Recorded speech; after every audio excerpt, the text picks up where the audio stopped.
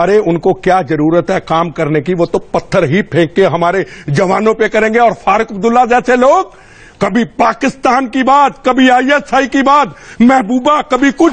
ये ये कौन जिम्मेदार है? इनकी सुरक्षा क्यों नहीं हटाते? ब्लैक कमांडो क्यों दिए? क्यों दिए? एक सरकार कानून बनाए, लिखे, जो देशद्रोही काम करेगा, जो फिरका प्रस्ती का नारा देगा, उसको जेट प्लस सुरक्षा क्या एक कमांडो तक नहीं मिलेगा। नमस्कार, स्वागत है आप सभी का। मैं हूँ सौरभ शर्मा। पुलवामा में 40 जवानों की शहादत का बदला लेने का सिलसिला अब शुरू हो चुका है और आज इसका पहला ट्रेलर देखने को मिला। पुलवामा अटैक का मास्टरमाइंड अब्दुल राशिद गाजी और कामरान हिलाल, सेना ने इन दोनों को मार गिराया। मेहमानों का परिचय आपसे करा दें। एमएस बिट्टा साहब हमारे साथ हैं। Chairman all India anti terrorist front. हमारे साथ मौजूद हैं लेफ्टिनेंट जनरल गुरमीत सिंह जी।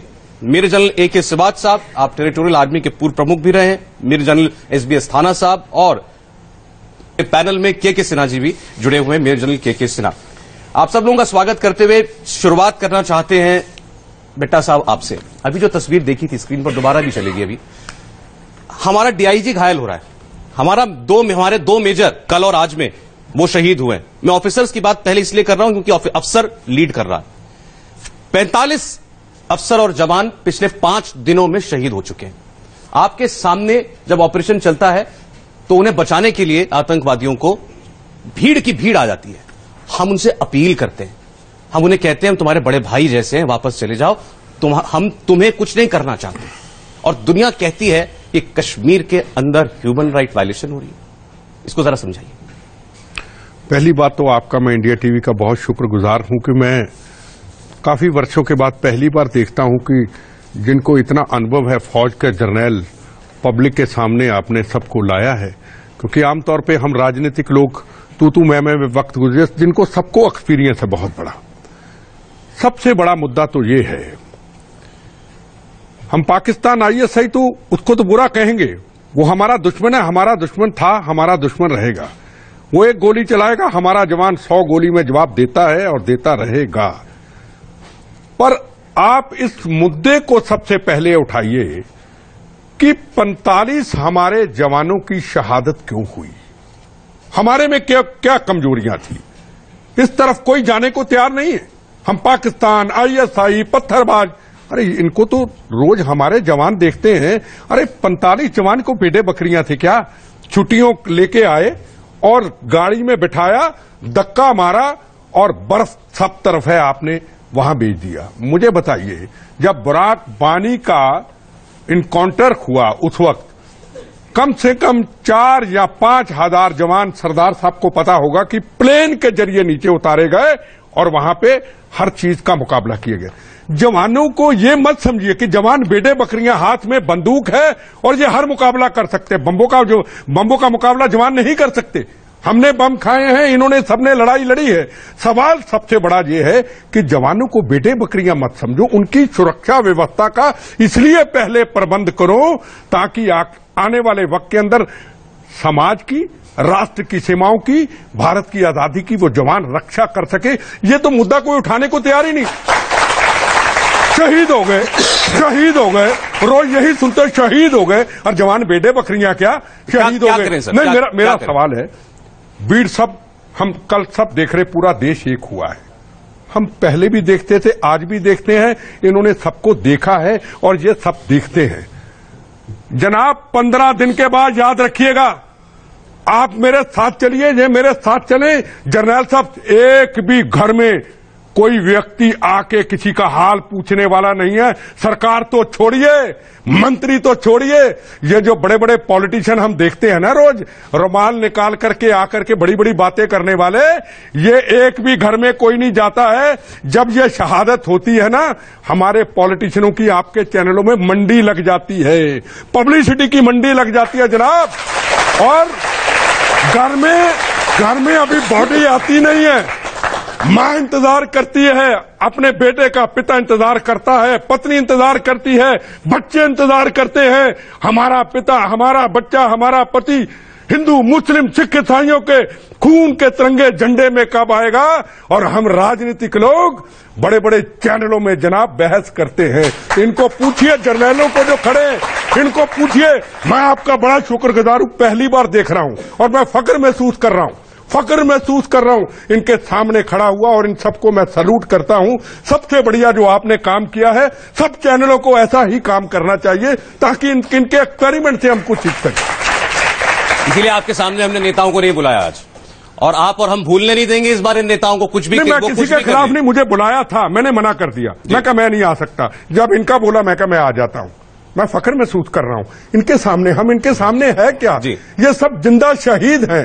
पता नहीं कितनी बड़ी लड़ाइयाँ करके हमारे सामने बच के खड़े हैं। बेटा साहब आपकी बात में सौ परसेंट सच्चाई होती है। खुल के आप अपनी बात करते हैं लेकिन इस बार यकीन मानिए देश का मूड बदल चुका है। इस बार लोग बर्दाश्त और करने के लिए तैयार नहीं और आपने बिल्कुल सही बात की ये पंद्रह दिन का ही सोग नहीं मनाना है। और जो लोग जो लोग गए हैं उनकी ज़िंदगी भर जनाब मुझे एक चीज़ बताइए छब्बीस ग्यारह की घटना हुई मैंने करनाल के अंदर प्रेस कॉन्फ्रेंस में आठ महीने पहल, पहले कह दिया समुन्दर के ज़रिए टेररिज्म आ सकता मेरे पास कोई इंटेलिजेंस इनपुट नहीं। राजीव गांधी की हत्या हुई एक महीना पहले कहा। नरेंद्र मोदी जी के ऊपर हमला हुआ। पाँच दिन पहले लेटर डाला। मेरे ऊपर हमले हुए। हमारे ज़िंदगी के जनाब अनुभव हैं। सवाल सबसे बड़ा ये है ये तो हो गया। पाकिस्तान आइए सही से देखेंगे। सर्जिकल ऑपरेशन हो गए। इंक्वायरी कौन करेगा? जो जो गलतियाँ हैं है। कौन इंक्वायरी करेगा? ताकि ऐसे हादसे कभी ना हो। चलिए सर अभी तो आजकल माहौल सिन्हा साहब देश में ये है कि पहले पाकिस्तान की बात करो। पहले तो अभी जवाब देना है ध्यान उस ओर फोकस उस ओर रखे और जो चूक हुई है गलतियाँ हुई हैं सही बात उसका उसका तो सबक लेना ही पड़ेगा नहीं तो ये हादसे दोबारा होंगे ये बात तो ठीक है प्रायोरिटी क्या है?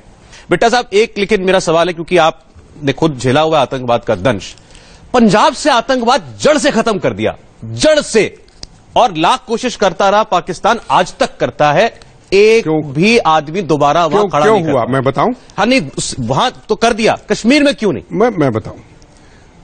वहाँ छत्तीस हज़ार बेगुनाहों का कत्लेआम हुआ बहनों के सुहाग उजड़े बच्चे यतीम हुए। माँ सुबह सोचती थी मेरा पति मेरा बेटा मेरी बेटी घर से निकली वापस आएगा या नहीं आएगी? आखिर में जब Congress BJP CPM CPI all political party ने कहा कि पंजाब में खालिस्तान बनने वाला है पंजाब देश से टूटने वाला है, कसम ले ली हमें वोट नहीं चाहिए हमें सत्ता नहीं चाहिए हमें पैसा नहीं चाहिए। जनाब, आठ, नौ, दस साल का आतंकवाद एक साल में समाप्त किया, गोली का जवाब गोली दिया। गोली मारो, आग लगाओ, राख इनकी दरिया में फेंको। आज पंजाब में अमन शांति है।